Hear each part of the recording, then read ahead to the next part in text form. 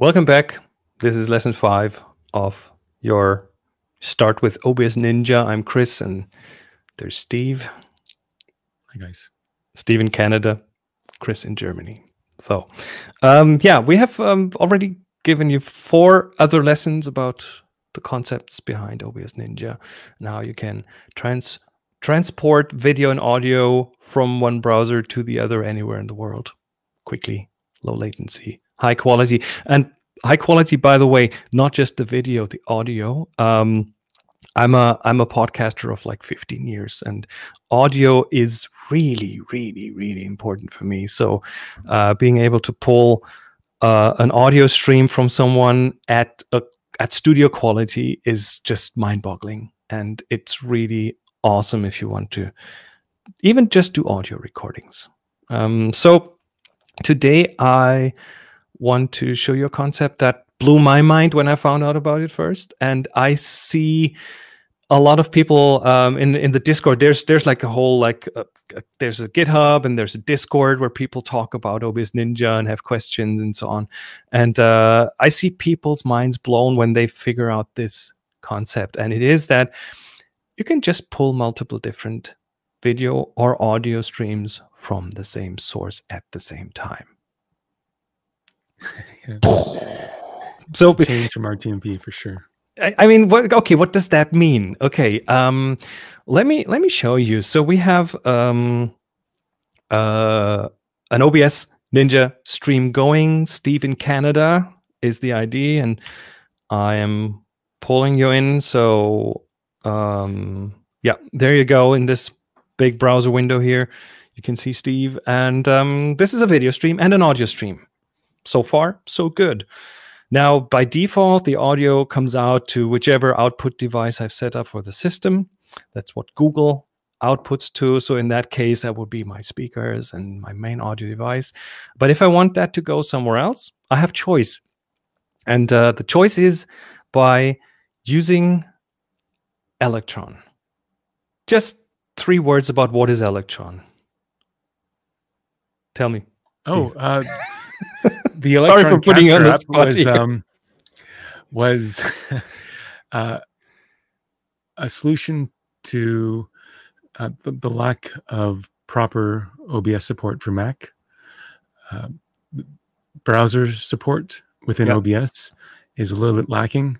Um, this is a little bit is putting it mildly. There is no real browser support in OBS on Mac for uh, for uh, for uh, for for OBS Ninja. So, um, yeah. So the Electron app is kind of a yeah a, a way to let Mac users uh, capture video using a browser that's clean and as easy as I could think of. Uh-huh. Uh, until at least OBS fixes uh, the issues, which they hopefully will soon. I'll open some champagne if they do. So, the, okay, the Electron app, this is a concept that you will come across more often in the future. Um, and it comes in two flavors. And I think that's important to, to show you here. The first flavor is um, as its own full blown app. And we'll look in this later. But there's also the Electron browser version, I would call it. And um, let me show that to you because it really helps if we show this to you and what it does. So let me open it. It's obs.ninja slash electron. And uh, you get this wonderful looking screen with a big input box in the middle and some check boxes and an audio output destination selector. This is where the magic is. So let me paste into here and I'm just deleting everything. I'll paste in the same uh, view equals Steve in Canada URL. So um, we want to open that, but I want the audio from that thing to go to a different audio device. Now, the way I set up my Mac is that I have a I have Loopback running, which is a virtual audio device creator. There's free ones. There's Black uh, Black Hole. I think there's still Soundflower out there, but um, I have a whole bunch of audio output devices, and let me just say I want this to go to my virtual device SL1. And it does something here to the parameters. We don't really have to go into too much detail about it. It adds a sink equals and then a very long hex number, um, just kind of an identifier for that audio output. Um, and then I click go. And again, I will see Steve's stream, the one that he shared to me earlier. But now the audio will go out to my virtual device to SL1. And this way I can capture his audio somewhere else. So, so far so good. Um, now let me add a second stream because that's what we want to talk about. We want to talk about pulling multiple streams from the same uh, browser. And let's say I'm pulling this uh, SL1 virtual device audio thing and Steve for, I don't know, some recording somewhere. It doesn't even have to be OBS, can be anywhere. But then in addition, because I'm recording my um, high audio quality podcast, I want to pull an additional stream just for my podcast recording. And this is where I could, for example, use here, the Electron app. That's the app. It's so just a window pretty much. And what I want to do is I want to pull the exact same thing, view equals Steve in Canada. I will, yeah, now let me move this right over your face. doesn't matter. Um, let me pull this one into SL2. And now um, I want to add in a little additional parameter. We already talked about the video bitrate parameter, but I want this to be really good audio. So I am going to add the audio bitrate parameter equals, well, let's do 256.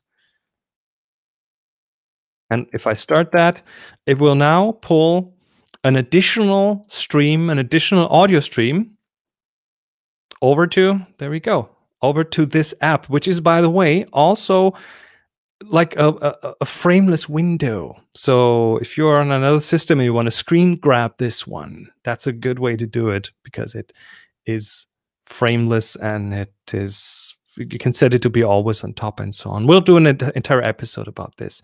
Uh, if I don't need his video on that one, because I'm now pulling two video streams and two audio streams, um, I'll just add another parameter. So there is my audio bit rate equals 256 and no video. And I'll direct this again to my SL2 device. And now it's pulling audio and not video. So I, I can mix and match my different streams. Let me get this out of the way so we can see Steve again. Here we go. I can mix and match streams. I can mix and match where I pull things into which direction. I can have several different video feeds from the same stream. I can have of several different video streams from the same browser, seven different audio streams uh, to send them to different destinations. And it's all pretty much limited by what the sending system can do networking wise, encoding wise, and what the entire throughput gives you. Does that does that cover it? Does that? Right. Did I miss anything important? Um, I, I don't think so. You can have multiple Electron windows open, um, and uh, yeah, uh, it, so it, it, does have some use on Windows as well. Um, because uh, OBS on Windows still isn't necessarily as uh, good as the Electron Capture app with capturing certain videos. So uh, Windows users might still find it useful. So we'll do an entire episode just about the Electron Capture app. Um, but I think the important concept is you can pull more than one stream from the same source, and that gives you flexibility, and that gives you that opens up the whole world uh, in so many different ways. I mean, the, as an example, and we'll do a use case episode about that. I do a podcast with three guests, so it's four of us talking, and we use a room and we talk to each other. But at the same time, I pull high quality audio from each of them for a separate recording. So. Um, it opens up so many possibilities as a production tool, and I hope we gave you a bit of a glimpse on how good it is. So that's it. Episode mm, five. We'll be back with another one